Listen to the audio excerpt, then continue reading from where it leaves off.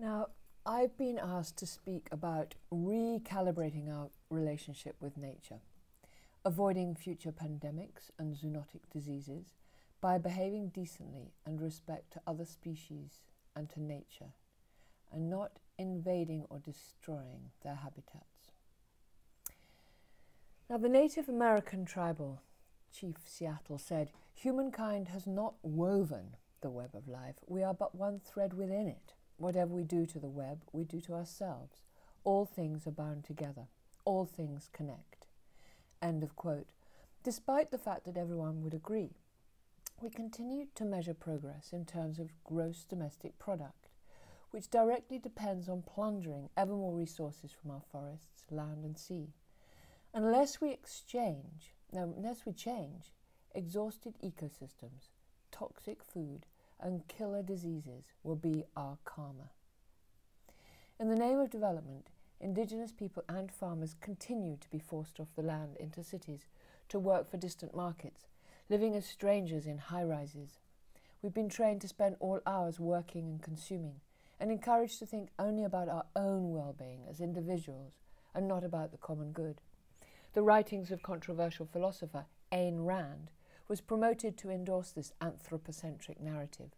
In 1961, she said, The first right on earth is the right of the ego. Man's first duty is to himself. Also, she said, Every honest man lives for himself. Every man worth calling a man lives for himself. The one who doesn't, doesn't live at all. In the same year, the brilliant Gore Vidal, public intellectual and writer, commented Ayn Rand's philosophy is nearly perfect in its immorality, which makes the size of her audience all the more ominous and symptomatic as we enter a curious new phase in our society. To justify and extol human greed and egoism is, to my mind, not only immoral but evil. Blind to the true cost on the broader community, corporate funded land grabs have decimated the number of farms across the world to replace their skills with chemicals and machines. Though hanging on against all odds, according to the UN, 70% of the world is still fed from small scale farmers who retain the knowledge of both growing food and communally building homes with local infrastructure, while enhancing nature and, of course, free of debt. How long these farmers will survive is in the balance a massive development project funded by Bill and Melinda Gates Foundation, the World Bank, the UK, and US governments, has invested into a project called Enabling the Business of Agriculture that promotes large scale land acquisitions and the expansion of agribusinesses in the developing world. Initiated as a pilot in 38 countries in 2017, the land grab is expected to expand to 80 countries in 2019 and 20. To promote this development paradigm across the globe, ministers are holding trade talks in secret. Without democracy, trade deals have become a blank check for global food corporations to slash standards, entrench privatization, and privilege the corporate agenda. However, the present coronavirus pandemic has woken more people in power to the necessity to question the globalization of food and farming. The United Nations Environment Programme report, Preventing the Next Pandemic, says the primary risks for future spillover of zoonotic diseases are deforestation of the tropical environment and large scale industrial farming of animals, specifically pigs and chickens at high density. The true cost of this centralized system of animal husbandry is paid for by the broader community in a myriad of ways. Our Farms Not Factories campaign focuses on the pig industry to expose these costs and urge politicians and citizens to end their systematic cruelty, pollution, and disease. First, I will describe the decimation of forests through the production of pig feed. Rainforests in Brazil and cerrado forests in Argentina are still being felled to grow GM soya to feed livestock. The equivalent size of Yorkshire is used to just feed UK livestock. Pigs traditionally eat human food waste, thus performing a useful role in the food cycle. But this was banned in 2001 due to the outbreak of foot and mouth disease, which was blamed on farmers giving kitchen waste to their pigs and spread across the world. If contained, the market, the animals get better in a few weeks. However, homogenized pig breeds lack genetic diversity and have compromised immune systems from overcrowding in their intensive barren sheds, so are more susceptible to the spread of disease. So blaming kitchen waste was just convenient for the agri industry to start to profit from growing and selling livestock feed. Pesticides are used on the soya forces the pests to go to the nearby small scale farmers' land, forcing them to also use pesticides, thus decimating the local land and water systems, poisoning local people and biodiversity, and producing toxic food and toxic livestock feed.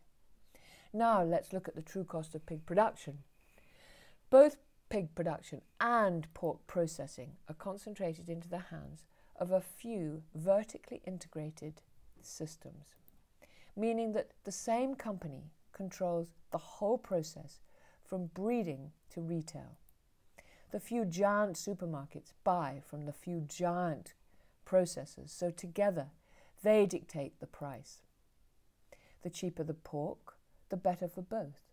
So farmers must either get giant, cramming ever more pigs into ever larger sheds, or get out of the industry. To compete, farmers cut costs by externalizing the true costs onto the broader community.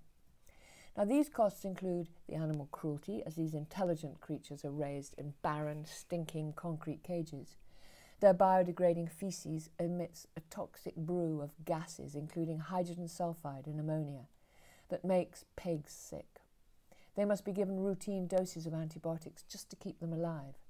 These mutate in the pigs' bodies to produce antibiotic resistant strains that then pass from pig to pig and pig to human. The workers are sick, as are the neighbours, and the local ecosystem is dying due to the farmer spreading excessive amounts of pig feces.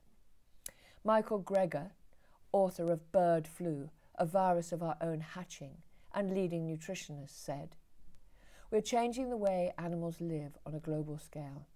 The AIDS virus is blamed on the butchering of primates in the bushmeat trade. The mad cow disease was because we turned cows into carnivores and cannibals. SARS and COVID 19 have been traced back to the exotic wild animal trade. But our last pandemic, swine flu, that arose in 2009, arose not from some backwater market in Asia, but was largely made in the USA in pig industrial operations. Thankfully, swine flu killed only about half a million people. Next time, we might not be so lucky. End quote. The swine flu he mentioned was referred to as N1H1 and first detected in a child near a giant US owned factory pig farm called Smithfield Foods in Mexico. Today, a closely related virus named N1H1 G4 has been found in humans and pigs. Neither are ill, and it has not spread human to human yet. So that is the grisly story behind the consolidated pig production. But livestock processing plants are just as bad. The epicenter of the present COVID 19 pandemic is the vast slaughterhouses combined with packing houses across the US, EU, and Brazil. These massive slaughterhouses employ powerless migrant workers so they can pay them low wages and provide poor labour standards. Crammed together at work in a temperature conducive to the COVID virus, and with the ventilation system spreading the disease, a great many workers caught the virus. However, due to the absence of decent pay that would have allowed them to recover at home, they stayed at work and spread the disease ever further. Many meat packing, packing plants were closed or slowed down, resulting in a backlog of pigs that had to be cruelly euthanized and taken out of the food chain. The numbers needing to be euthanized in the US are believed to reach 10 million between April and September 2020. Lockdown and the search for a vaccine are just treating symptoms and not the root cause of ever more diseases. COVID is just another viral disease. To lessen its impact, we must build our immune systems with healthy food, vitamin C and D and zinc. Instead of mass lockdown, we should have, in my opinion, followed an improved Swedish model by looking after the old and those with underlying illnesses and let it pass through the community. A path that Boris planned to take, pre being guilted by the powerful pharma industry into a national lockdown. This has caused many more deaths than COVID, particularly in countries where there is no furlough. And many small businesses will not survive, not least due to the rent arrears. Pressure to have the vaccine will be endless and suffocating. With such a dirty footprint, it's time to close factory farms.